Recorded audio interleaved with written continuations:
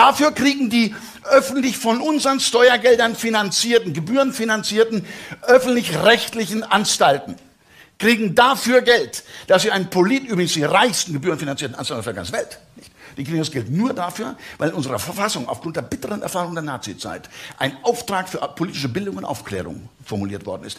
Dafür gibt es das Geld. Und dieser Journalist, der diesen Politiker erstmals in die Schranken weisen würde, der würde ihn endlich mal erfüllen, den Auftrag. Aber dann kämen sie nicht mehr, die Politiker. Und damit sie kommen, sagen sie es nicht. Und die gehen alle gerne hin, weil sie genau wissen, sie können ihr Geplapper weiter ausbreiten. Sie können, können ihre undichten Sprechblasen entleeren in den öffentlich-rechtlichen Bedürfnisanstalten, bei den Klofrauen, egal wie sie heißen. Ilna, Maischberger, völlig egal. Und wenn sie nach Verrichten ihrer intellektuellen Notdurft noch was am Nachtröpfeln bemerken, dann können sie in der Woche drauf noch bei Beckmann, Kerner, Lanz und Co. an der emotionalen Pissrinne und das Volk mischen. Das ist die Situation. Liebe Journalisten, Redakteure und Medienmacher. Viele Menschen stehen heute in ganz Deutschland bei euch und wir wollen miteinander reden. Wir wollen den Beginn eines historischen Dialoges mit unserem öffentlichen Rundfunk.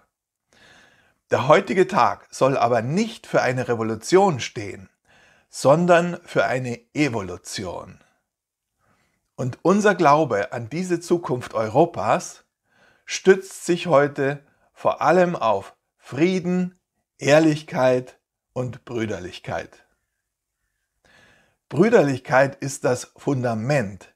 Sie steht für die Menschheitsfamilie, für das Bewusstsein, dass wir nur zusammen unsere Ziele erreichen können, indem wir in einer Gemeinschaft unsere Stärken verbinden und unsere Schwächen ausgleichen. Frieden ist unser höchstes Ziel, sowohl der innere Frieden als auch der äußere, im kleinen wie im großen. Und Ehrlichkeit, das ist das Mittel, um unser Ziel zu erreichen.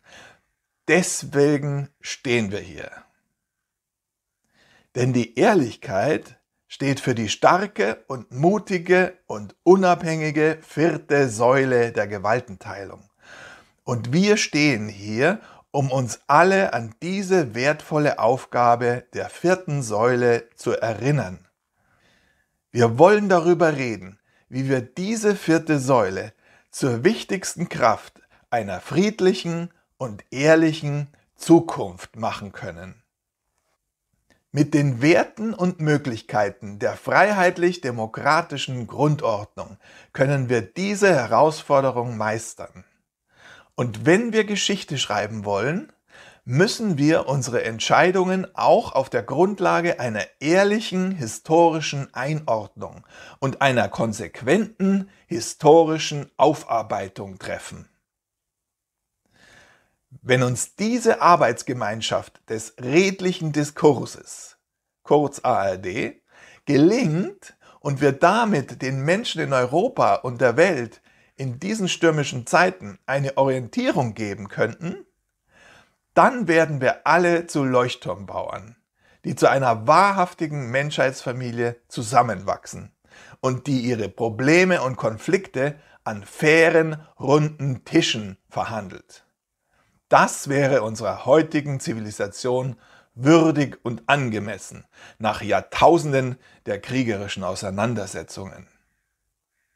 Wenn uns das gelingt, dann werden unsere Kinder eines Tages nicht nur vom Feiertag der französischen Revolution sprechen, sondern auch vom Feiertag der deutschen Evolution. Liebe Mitarbeiter des öffentlichen Rundfunks, liebe Journalisten, liebe Redakteure, liebe Vertreter der vierten Säule, schreiben wir gemeinsam Geschichte.